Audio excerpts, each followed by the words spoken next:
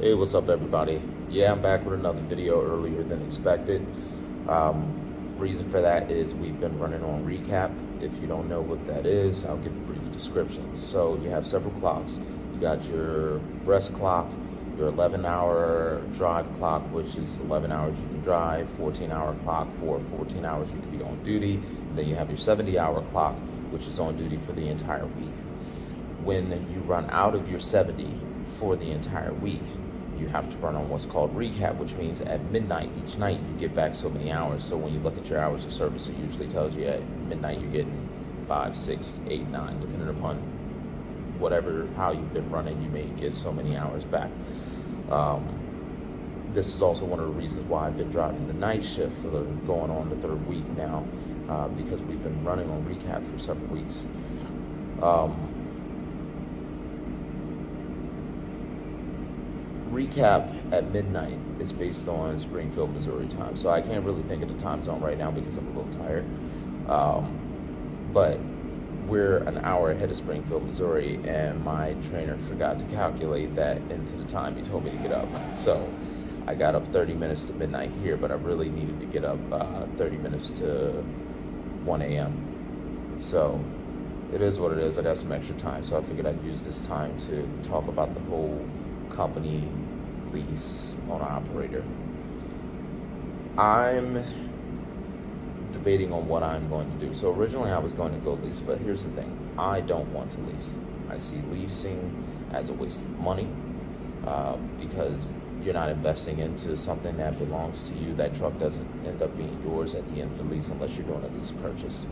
Right now, Success Leasing through Prime has suspended their lease purchase program unless I believe you get a used truck, which has to be minimum two years old, and then you have to get outside financing. Success Leasing is not financing any lease purchases.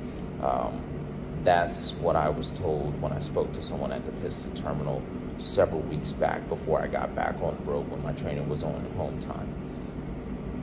There are some other companies like SFI that you can still do lease purchases through uh, for a brand new truck, three year lease. Uh, you're talking about $1,200 payments every single week for three years. Um, then at the end of the three years, you're looking at like another 56,000 at the end to purchase the truck. So all in all, you're talking about somewhere close to $250,000 for a truck that's normally valued at $150,000. That's a lot of money. Um, so one of the things that I also realized with these lease purchase programs, they do not report to the credit bureau, which is good for somebody who doesn't have uh, good credit, you know, because you know they're doing essentially in-house financing based on the fact that you have experience being on the road. But for a person like myself, I have good credit. Um, I would like to build my business credit. So me doing a lease purchase program, whether it's through Success Leasing, through SFI, or any other company, is completely worthless for me. And it's a waste of extra money. Um, because I pay all this money, 52 weeks of $1,200 payments for three years, and they don't even, and it doesn't even reflect that my business paid those, made those payments.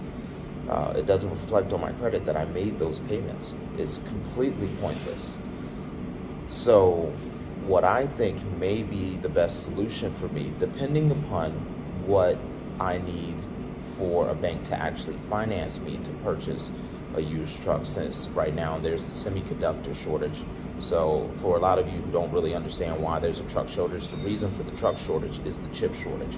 So, the chip shortage is essentially semiconductors, they're little processors that are pretty much in everything laptops, phones, whatever electronic device you have, they're in there and because uh, Intel's having problems with getting these chips produced, that's where we're having the issue. So a lot of trucks are actually like 95% complete, but they're missing the semiconductor. So that's what's going on with that. But anyway, I'm looking at getting a bank to finance me because if a bank can finance me, at that point I'm making the bank payments, and those payments to the bank is actually reporting on the credit, which means I'm building my business credit, which makes it easier for me to get financing down the line instead of me having three years of not having any real business credit. And then three years later, now I'm trying to start the business credit. That doesn't make any sense. Um, so I need to find out if when the time comes to give financing, if the bank needs to see settlements to actually see how much I'd be making as an owner operator, or if they just need to know that I have a business plan that I've been working over the road, that I'm already under an authority like Prime, uh, and then I'm going to be switching over to owner operator, and then I have the down payment money together already. So I'm doing some research on that. Once I find that information out, I'm going to make a decision because I think it may be wise that if they don't require that, for me to just go company. That way, I'm not leasing, I'm not wasting any money. Also, no expenses of the truck are mine. It's all the companies, and I'm just getting paid by the mile. And I can just be on the road and just run, run, run, run, run, and save all my money for the down payment to then jump into a bank finance and buy the truck. And then at that point, I'm also not wasting like an additional fifty to a hundred thousand dollars, giving it to some company to pay for a truck for them, because that's what leasing is. If it's not a lease purchase, you're essentially paying for the truck for them, and then they turn around and then give it to someone else, and then they continue to pay for the truck again for them. So, I mean, let's just be honest these companies are making a lot of money doing leasing, doing leasing, whether it's a lease purchase or not. But just the straight lease, oh, they're making tons of money, you know, because that truck just pays for itself over and over and over because it's just passing through hands. And then a lot of people don't even complete their lease on top of it. So sign a one year lease, two year lease, three year lease, you make it like two years. The third year, you're like, you know what, I'm gonna walk away from this because you can. You just paid all that money, and now they're gonna give it to somebody else for another two years, three years, one year. So, yeah.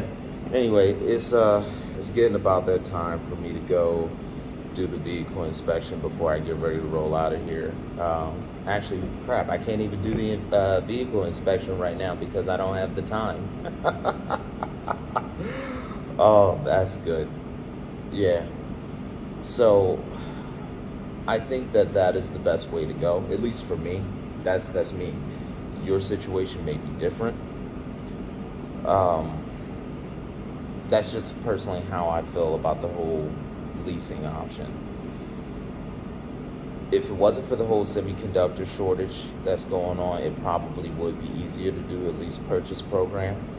And then I maybe would consider it because the, the price of the truck maybe wouldn't be as inflated as it is at this current time but I can't really say because I didn't see what the prices were of the trucks before this situation happened because I wasn't in the industry yet. But I was, however, doing research on the price of normal trucks, not just through a leasing program though. And it's definitely pretty much almost double now than what they were costing brand new beforehand because my brother's been in this industry for a while he and I used to talk and I was just looking up trucks and stuff while he and I were talking about the things that he wanted. Um, other than that, as I find out more information on what my options are, I'll I'll update you all and let you know. But I'm definitely looking uh, more towards going company than I am for going lease, even though I really want to go lease because, you know, when you are a lease operator or an owner operator, you get paid based on the load percentage. So that's a lot more money when you're out on the road running, uh, especially depending upon the types of loads that you're getting. You may get really good loads and get paid very well.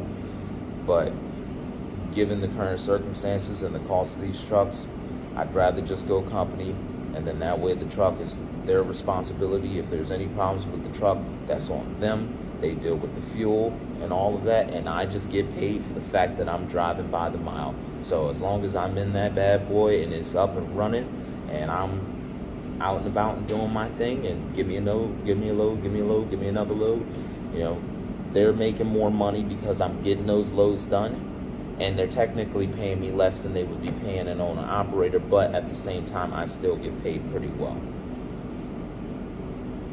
So that's my thoughts on that.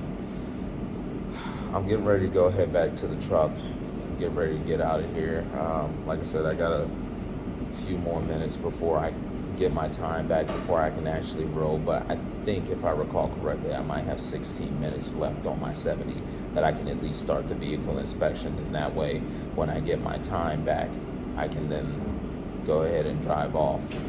So I'll catch up with y'all later. Stay safe.